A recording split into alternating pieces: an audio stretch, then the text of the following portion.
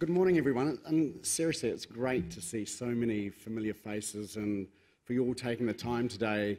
And I know everyone leads very busy lives to kind of contribute and learn uh, a little bit more about what we're doing at the Commission and also hearing from some experts. At, at a bit of a discussion at the Commission recently, we, we kind of, like Diane said, we wondered, you know, when things go bad, who's to blame? Whose fault really is it? Um, I too have a bit of fear around KiwiSaver, given how the markets have been and the regular contributions have kind of, uh, if you like, covered some of the highs and lows or the volatility or the ups and downs of balances. But we could be leading into a perfect storm where share market goes down and interest rates go up. And then we've got to think about, well, who is to blame uh, when uh, the consumer rings up and says, well, this is not what I expected. It's not what I wanted. And we've got four wonderful experts here today that I want to uh, introduce to you. And they're going to give you a perspective or a view in each of the areas of field of expertise and also hopefully create a little bit of debate and discussion around whose fault really it is and what we need to do to improve it. So speaking on behalf of the consumer, we've got Professor Elaine Kempson, who will tell us whether they're innocent bystanders, this is the consumer, who need protecting, whether they're guilty of making bad decisions and seriously should be taking more responsibility for their actions. We have Miles Larbey from, uh, uh, and he's a senior exec uh, in financial literacy at ASIC. He'll help us understand with his experience, particularly in Australia, whether the market should be better regulated to safeguard the consumer, or whether maybe too many regulations stifle business and opportunity and access for, for uh, investors to, to, uh, to go into products. Then we've got um, Blair Vernon, Director of Advice and Sales at AMP. Now, Blair is going to take the view from a provider's perspective. Are they creating the right products? Are they giving the right advice? Or are they just trying to sell stuff to you? And, and maybe, uh, depending on the environment, whether it's an appropriate way or not, and what, what they should be thinking about. And then you could argue, well, actually, none of that's relevant because the economy is the driving uh, background to all of this, and it doesn't matter what you do, whether you regulate it, inform and uh, provide information to consumers. If the economy is uh, not going well, it's not going to matter anyway. And we've got uh, Shamubeel Eaqub, principal economist here. He's going to talk and tell us whether none of this really matters. And I wonder, uh, to kick things off, Elaine, would you give us five minutes, kind of your view uh, from a consumer's perspective. Hmm. Well, I don't think we should load everything onto the consumer. It's not always their fault. And I think one of the things that really dismayed me was after the US subprime market, so many people were saying, if only the, the crash rather, so many people were saying, if only the consumers had behaved more responsibly, mm -hmm. this would never have happened. In my view, had the market been properly regulated, or actually indeed regulated at all, because financial advisors were totally unregulated and anybody could set up to sell subprime mortgages.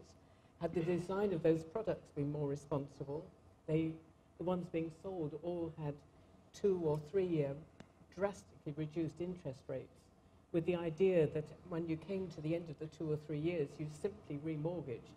So if you were on a low income, you could have constantly afford a very high mortgage.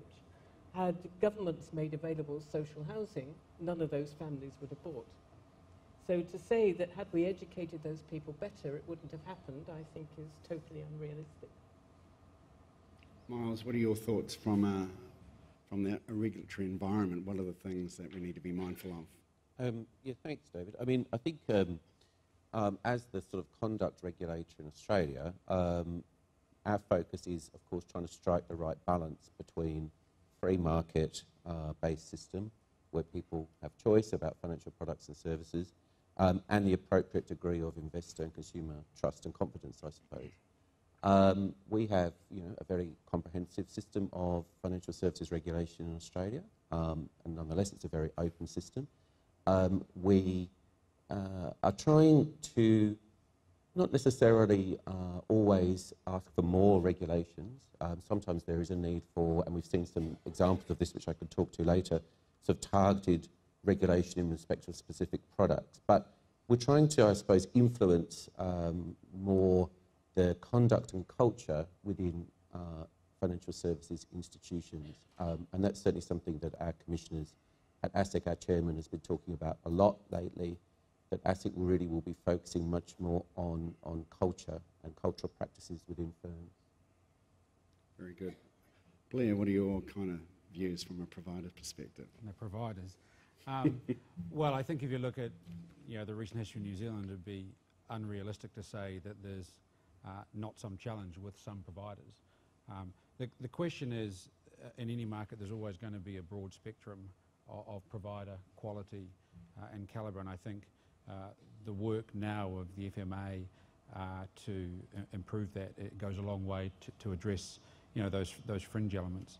Um, but undoubtedly, uh, I think the comment's absolutely correct. Um, the culture within those organisations is going to be fundamental because there's only so much a regulator can do. Uh, I think the comment Alfred made, the, the question of um, charisma versus character is fundamental. Uh, so, uh, and there's a part of that for organisations who are providing services in this market in terms of product. Uh, there's also a question of um, to what extent are they pushing product or are they also supporting that with advice?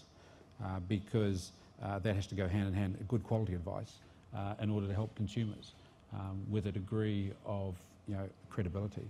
So providers absolutely have a, a, key role to play and need to shoulder some accountability when things don't go wrong if they have in fact you know, been found to, to take what I think are often uh, incentivised shortcuts if the culture is not right. Makes sense.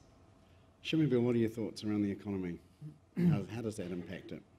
I think in some ways the question is wrong. It's not who do you blame, but what do you do when something goes wrong? Mm.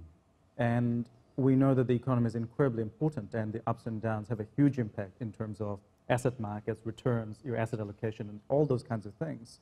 But the fact of the matter is, as in investors and even market participants, we have very little control of what's happening in the economy. Now, as you would have seen from economist forecasts, we get everything wrong. so, but you're consistent. Uh, we are consistently Good. wrong, but um, you can't always take the opposite direction because we all cover our bits and we all have different views. so when I think about what happens in the economy, and I was watching the news last night and I was watching the queues of pensioners in Greece. Yes, there are lots of economic issues that can have a really big and overwhelming impact, but that's what makes it really important to have very well-educated consumers. That's why it's important to have good regulation, and that's why it's critical to have good conduct in the markets.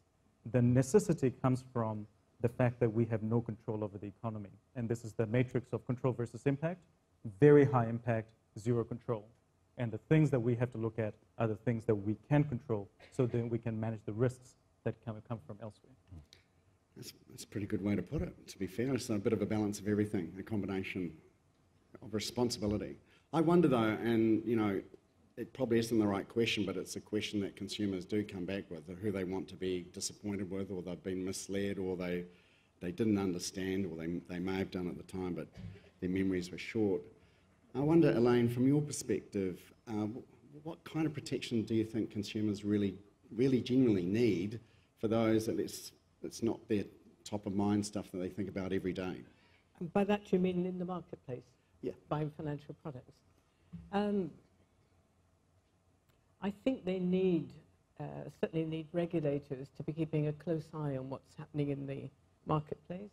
I think uh, our UK regulator acted too slowly and too mildly in response to the payment protection insurance scandal. So I think they need regulators to ensure that inappropriate products are not sold um, on the marketplace, that even appropriate products are not missold to inappropriate people. I think they also need um, an independent source of arbitration. I was for six years a non-executive director on the Financial Ombudsman Service Board in the UK, and some of you will know that is a very big business in UK. Um, it now has 2,000 staff, so it's a very, very large organisation. I think consumers do need that to help them get redress when things go wrong. And I think they also need good targeted information they can use to try and wrest some of the control away. And I suppose the last thing I think they need is um, good independent financial advice, and that's in very short supply.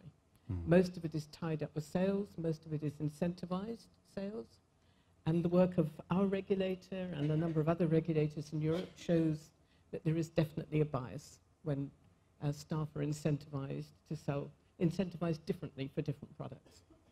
So I think uh, the Netherlands was quite brave. It went down the route first of declaring that all advice should be truly independent and whole of market and should not be um, associated with sales. If it was, it sh- should not call itself advice.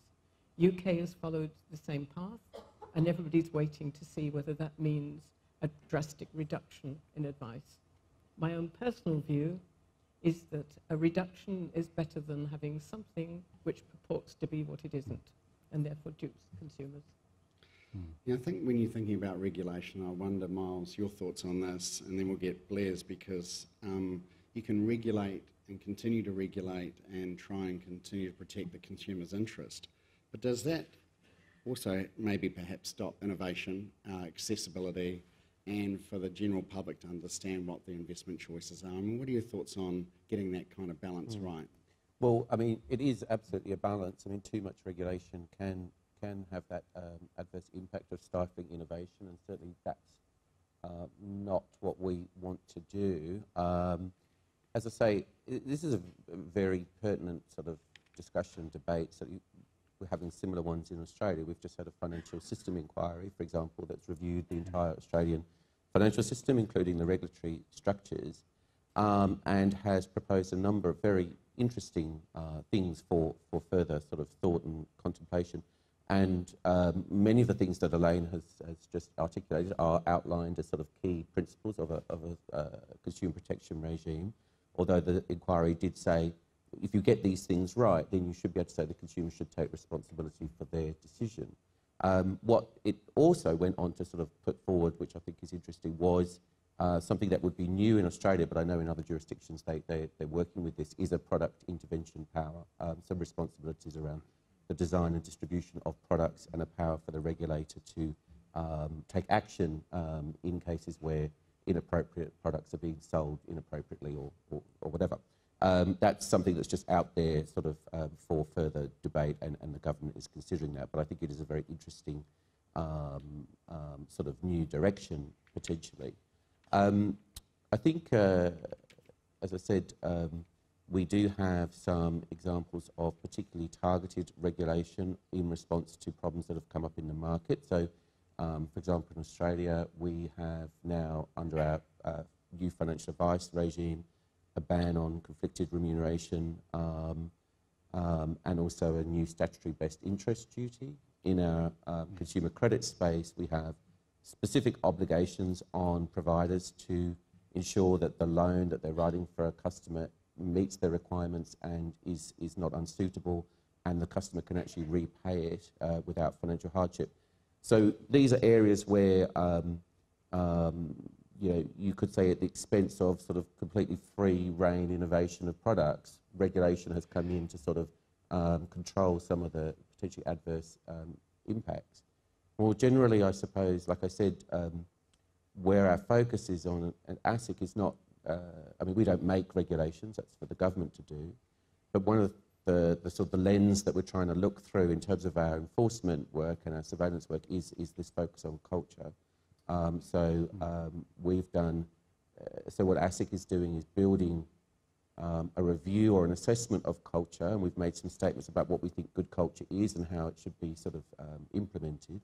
Um, but we will be building uh, an assessment of culture into our surveillance work, our proactive and reactive state, uh, uh, surveillance work.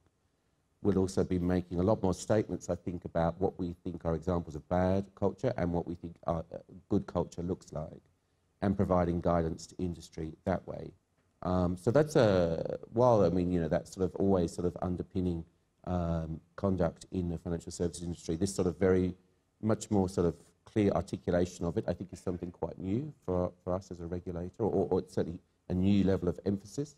And I think that is in response to a lot of the uh, lessons from the GFC and a lot of lessons from some of the issues we've had in Australia around the financial advice sector, uh, conflicted, um, you know, the impact of incentives, um, difficulty with um, what we call bad apples sort of uh, moving through the system. So So there's always going to be bad apples. It just it, it, that's always going to happen. I guess finding a way to mitigate that and at least raising the awareness of what to look out for, scams, kind of things like that. There are going to be characteristics that we should be able to communicate effectively to, in our case, New Zealanders, saying if if it doesn't tick all these boxes, then actually it might not be as good as it sounds.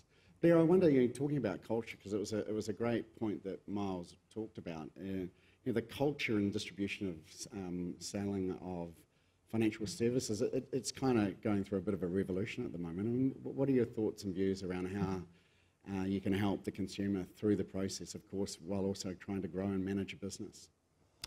Um, yeah, it's a, it's a tough one. I think um, Elaine's point about um, uh, better to have um, a lack of access to advice than have uh, stuff that is actually pretending to be advice but is not, I think is absolutely fair. Uh, and I think that's a, that's a challenge uh, in, in many markets. I think this one is, is similar. Um, what I see though is a great challenge if you're in the, if you're in the business of uh, financial services is there's kind of a dichotomy. There's a, there's a bunch of products that people come in and are pretty keen to buy, um, and they're generally debt products because we've got a, a consumption-based economy. Uh, you know, loads of kids coming out of school, one of the easiest products to access is a great big student loan. So, you know, we've got a big $14 billion debt, so they learn pretty easy. Yep. And so that, along with a whole lot of messages, means there's a lot of buy demand for that stuff. Um, correspondingly, there's very little interest in stuff that is investment uh, or protection related. Um, I find fascinatingly, when I listen to conversations that my team have, people who ring up are more worried about the, whether the cover on their car insurance covers their mag wheels and their stereo than they are about their life insurance or their retirement savings. That's just the inverse nature of it. So, so how do you deliver advice that um, that quells the insatiable demand to buy a bunch to get the product you've got because they just want to buy the car or the house or whatever else, and try and actually slow that that metabolic rate down to get people to take some time to consider the other elements that are going on. That's actually an incredibly hard thing to do because you've got advisors who are trying to intercept very serious cultural signals um, that are much bigger than just financial services. Um, so that requires, you know, to be frank, quite a degree of courage to, to get people to face into that conversation. Um, the, the other thing that's interesting is I find with the advice industry is most advisors have had to, uh, that have succeeded in this industry um, have, and look, we all can talk about the odd bad apple, but for the main, a lot of them face a great challenge, which is if they sit down and do a decent piece of advice with, with many New Zealanders, I would suggest most, unfortunately they always deliver bad news because for the most part, people are not financially organised. So the job of being an advisor, if you're a good one, is actually to be a deliverer of bad news to people. And most people don't actually want to have that conversation. so, you know, the guy behind me here is a hairdresser. Most people would spend much more time at the hair salon in any given year and more money than they will on procuring financial advice and actually having that conversation. That's just the reality. Know, I don't know why you're looking at me when you say that, to be fair. Uh, but I, I, I do use that a bit too because I think in New Zealand, we, um, when it comes to advice, we do seem to be tighter than two coats of paint when we want to spend or, or get some advice around that. But um, probably just before we get into the advice thing, because I think that's a really interesting area that we can kind of explore a bit further with the panelists. Shamubeel, you, you raised some, some really good points. I mean, you talked about how um, New Zealanders need to understand economies better, or at least the markets, so that they can perhaps make better informed decisions. I mean, how would you see your role, or, or I guess the industry's role, to kind of help improve that? Yeah, so I guess when I was speaking about the role of the economy, I was less worried about people's understanding of the economy per se. Um, it's not necessary for everybody to, ex- to be an expert on the economy because I'd be out of a job. Um, And there's But- plenty of them. yeah, there are far too many of us around as it is. Um, it's more about understanding how to ask the right questions and to know, to know that, um, you know, your life stages, about the issue, the broad concepts of portfolio constructions, about, um, you know, diversification that Rob talked about. Um, you know, I myself don't do my investments directly. I have an advisor who does it for me, but I trust him to be able to make the right decisions by asking a hell of a lot of questions. I could imagine with your And- uh, economic hat on, it would be quite a. I'd love to be a fly on the wall for that. Yeah, and our meetings tend to be quite long. I hope he's not getting you're not paying by the hour. Well, he gets paid as, as per the industry structure. Now, now, when I think about my personal per- per- perspective, um, you know, the poor guy has to sit in front of two economists who grills him on every single investment decision. Now, we're in the fortunate, fortunate situation where we have the knowledge and skill to be able to ask those questions. But we also believe that there are sufficient safeguards in place within our financial advisor, uh, in the organization that he works, and the market that he operates in, that we should be able to get a reasonably good and safe outcome. Now, I have to have that faith, otherwise, I will not invest in certain markets. And that's exactly what we do. We don't invest in every international market, for example. So when I talk about um, an understanding and an appreciation, this is not about the breadth of everything, but just having sufficient knowledge to be able to go to the right place for the right questions. And like you say, you have to be willing to pay for advice. Yeah. Unfortunately, you pay peanuts, you get monkeys. Yeah, no, I think that's look, it's a very good point. point, and um, I think if we look at where, and of course in New Zealand we are going through um, Financial Advisor Act review right now, um, and it's actually quite timely given perhaps where you can and are able to get advice. There's, it seems to be less advisors, not more, and then more effectively how people know where to go to get it.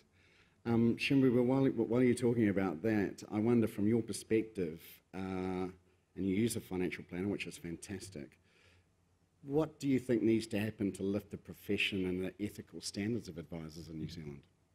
I think we're well on the path to that already. So the changes in regulations we've had with the AFA regime and things like that are very much a step in the right direction. But this is about moving to a different state, and it's going to take time. Yep. We can't expect the old dogs to learn new tricks. And you know, I know a lot of people in the financial advisor community. Some of them are fantastic, and others have no business advising anybody on anything. And we, ne- we haven't had that separation before, and there is no way to tell who's who. Yep. And that's the difficulty is how do we move from one to the other? And the regime of having certification, going through training, and actually having a um, regulator who comes down on people who provide bad advice is going to be really important. And I was interested in your comment about life insurance because we know that the only thing that's happened in life insurance in New Zealand is churn. That's been great for the advisor and crap for everybody else. So I think there's some, you know, we're moving in the right direction, but some big steps to take because we're talking about developing capability in markets and the advisors having the regulator who is able to do it, but also not creating this massive dislocation where we run out of all advisors. Um, and I absolutely take your point that we don't want people pretending to be advisors, which does happen absolutely. And life insurance, I think, is a good example of that. Sorry? Oh, yeah, Oh, churn. churn. So, you know, life insurance um, brokers get um, paid to, twice your annual fee every time you sign up somebody with a different um, provider. At some companies. At some companies, some more than others. Um, but I guess that's the challenge is uh, what we have seen in the New Zealand market on a per capita basis, the life insurance market hasn't grown um, for a very long time. But yet we see a huge amount of turnover of these policies moving from one provider to another.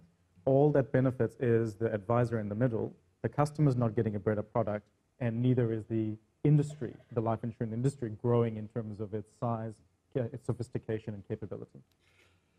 So I'm going to let Blair think about this before he responds, so he gives some thought to that, that kind of question. But Elaine, you mentioned as well in the UK advice is, what's it like over there? I mean, you've gone through some massive uh, reforms there, particularly around uh, the superannuation or pension schemes, where now, you know, those people were originally going to be putting their money into an, uh, an annuity of sorts, now they're getting a pot of money they need advice. I mean, what's the environment like there and, uh, and what's the quality like? Well, it's changing, and I think we're waiting to see what it, look, what it looks like. Um, it's not just the UK, in fact, it's across the whole of Europe in relation to investment products. If you want to describe yourself as an advisor, then you do have to be fully independent. In other words, quite independent of any provider, able to advise from across the marketplace and uh, to offer completely independent advice. You're not, uh, incentivized through commission. And in other words, the consumer has to pay for that advice. And I can see a question coming up there. Are you about to ask us that? Or because I shall begin to address it in what I say. The question down here says, if you think there's a need for more independent advice, who's going to pay for it? Um, some consumers can pay for it, and I think this is the big debate that's going on in the UK now. Not everybody can, not everybody will. And if they won't and can't, then who should pay for it? My personal view is that we've gone down the route of saying that uh, debt advice is a collective responsibility of the industry. Therefore, the levy collected by the financial services regulator will be used, part of it, small part of it, will be used to fund uh, national provision of debt advice. I think that we would have less need for debt advice, less need for wholesale um, compensation schemes if a similar uh, mechanism was set up to pay for truly independent, certainly generic advice, if not specific product advice Yeah. for consumers. So a levy through the industry for those people who can't afford to pay. But others will pay and um, they can get a good service now. Uh, we have a pretty large IFA population that actually do do quite a good job. Miles, um, Australia, I mean, they wouldn't be shy in wanting to pay for advice over there, I would have thought. Um, how's that been going, and what are the changes that have occurred in how Australians go to get advice, particularly if they've been saving compulsory now for what, 25 years? They must be having some quite significant lump sums to, uh, to be managed. Yeah, um, that's right. Um, certainly, our financial advice sector um, has been undergoing some significant changes recently, um, and I think it's you know we don't yet know what the outcome of those changes will be. I suppose, um, but certainly um, we've already seen, um, say, through the government's future financial advice reforms, the introduction of a statutory best interest duty. Um, some people might have asked the question, why do you need to put that in a statute if you're in an advisory profession? But that we, that is now in the law, um, and a ban on a, a prospective ban on conflicted remuneration. So a lot of the issues that we saw in Australia um, around things like Commonwealth financial planning and Storm and so on were commission-driven uh, sales, and so that will no longer be able to happen in Australia. Um, but there's a lot more going on than that. Um, um, we know in Australia about 20% of people use an independent, use and pay for an independent financial advisor. 20, did you say 20%? About 20%. So what are the other 80 doing then? What are they doing? Well, that's a, the- yeah. So for them, um, um, yeah, there, there there may be people, many people who don't need that sort of level of sophisticated financial advice because their financial situation just doesn't require uh, that level of intervention, and that's where certainly we at ASIC through our Money Smart program would hope to be able to deliver or provide free and impartial generic financial advice, if you want to use that term, um, to help people with some of their financial decisions. But I think also takes us into a discussion around financial products and the role of default settings and, and so on and so forth. So you actually, for those people who either can't or don't want to or don't need sophisticated financial advice, there are other things that sort of can can help them sort of manage or, or their finances be managed in a way that sort of will achieve their sort of um, financial goals. Uh, one new sort of um, feature or facility, um, this whole question about bad apples, because we've seen at the regulator instances where the same person turns up um, in different organisations and it had been hard historically to keep track of um, some of these people and they would sort of move through the system and um, reappear. And we also knew that some firms weren't necessarily doing the, the, the, well, weren't able to perhaps do the level of employment checks or background checks that we would have hoped um, or, or people would have hoped. Um, so we've actually introduced, um, and, at- and ASIC we never had, um, up until recently, actually a comprehensive record of all the individuals qualified or licensed to give financial advice at an individual level.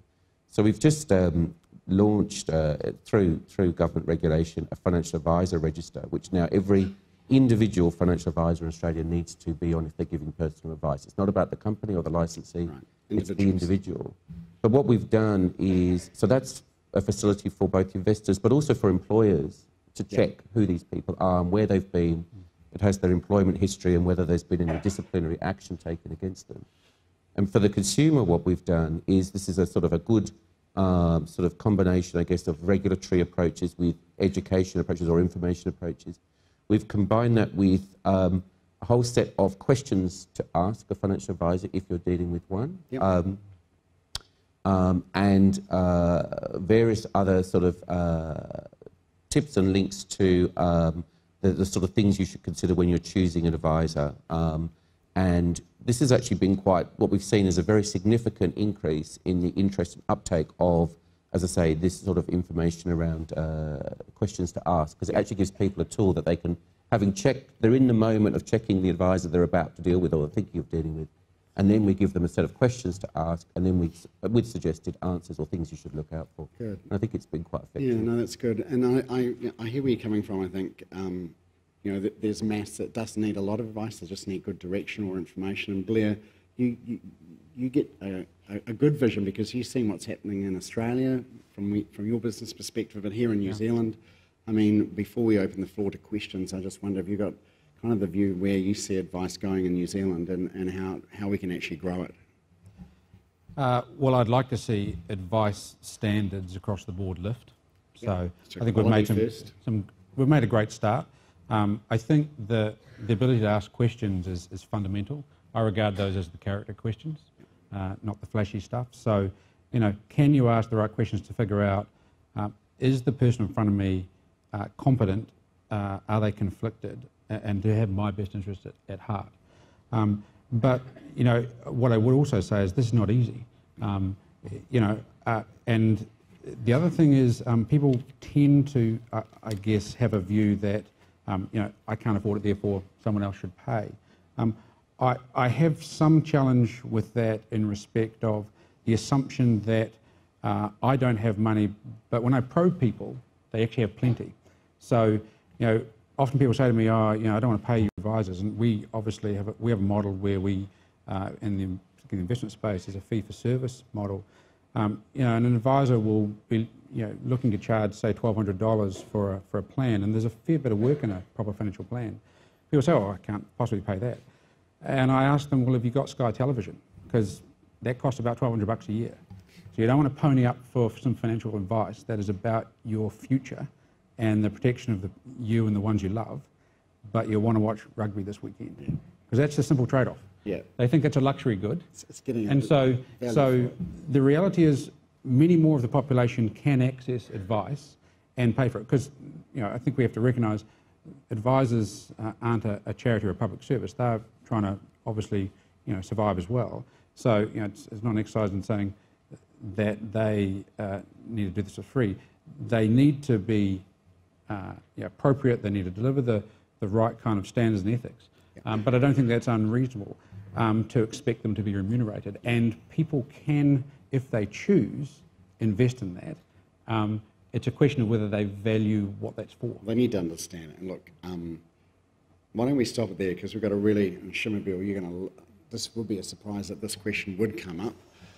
Uh, and I'm just reading out here. It says, How big of threat does Greece's problems pose to the global economy? Now, hopefully, we'll see whether you're going to be right or wrong later. But what are your thoughts? I mean, generally, how, how big an impact? What's the ripple effect, essentially, that Greece and their worries are going to do for the rest of the world? Yeah, Greece in and of itself is not a problem. 0.06% of global GDP or something, you know, they're tiny. The bigger issue is whether or not the European project fails as a result of this. And if Europe breaks apart, then this will create significant ramifications in terms of global financial market volatility and all of those bits and pieces. So yes, it's a big risk.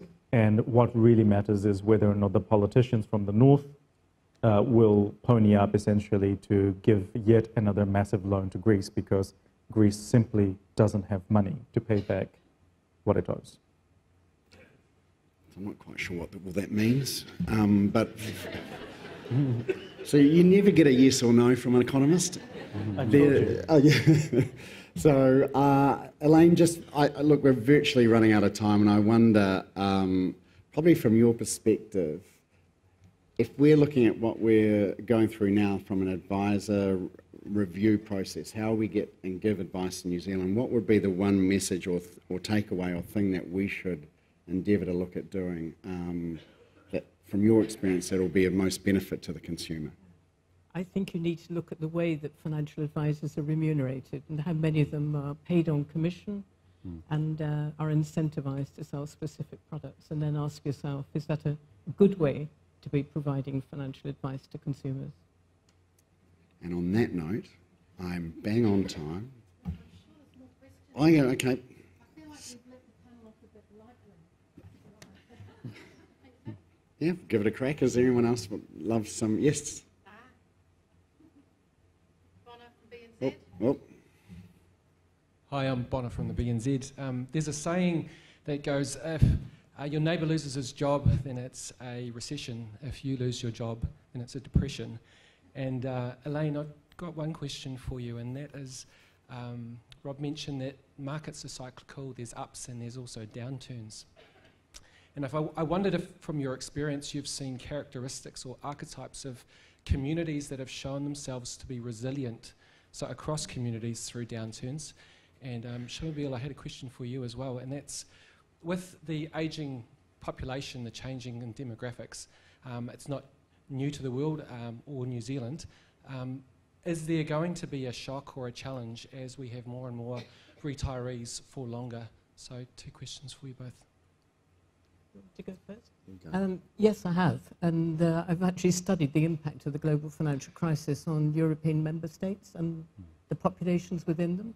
If we compare Spain and Ireland, they both had huge house price bubbles.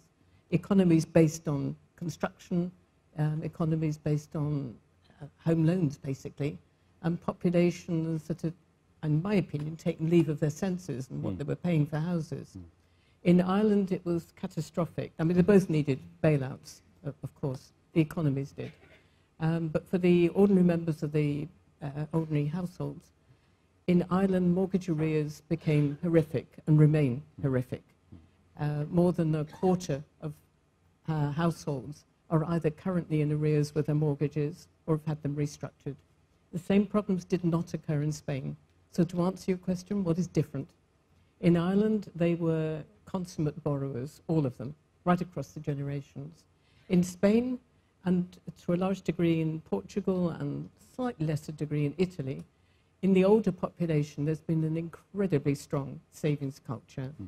There's been no state welfare state, so a very, in Spain and Portugal particularly, a very strong emphasis on the family and family support. Hmm. Family support has kept young people afloat, and we've not seen those high levels of arrears um, in Spain, although it's under, it is under strain at the moment. So I think that's one very important lesson I would take away from it.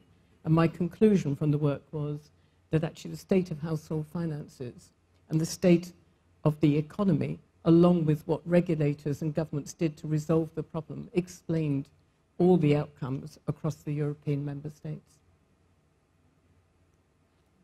I guess on the second question, in spite of the politics, aging Israel, and we are going to have issues with our superannuation and our health costs. And it will have two big implications, I think. One, for the sector, we have to get used to figuring out how do we do decumulation in a positive way. We have no products really in place now that can do it well. Um, the second thing is around what do we do in terms of the young investors who will be coming through, who will be facing an entirely different set of political and economic risks.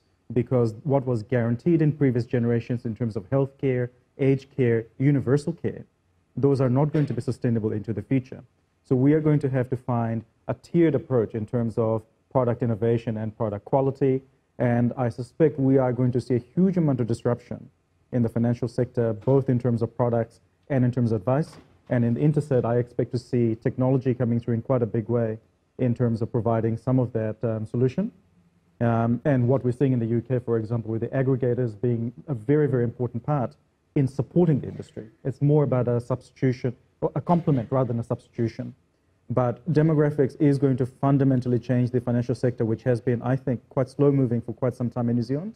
And we're about to hit a very big demographic push that requires a fundamental rethink, both for the retirees that are coming up, but also for the young people who are going to face very different set of risks and opportunities.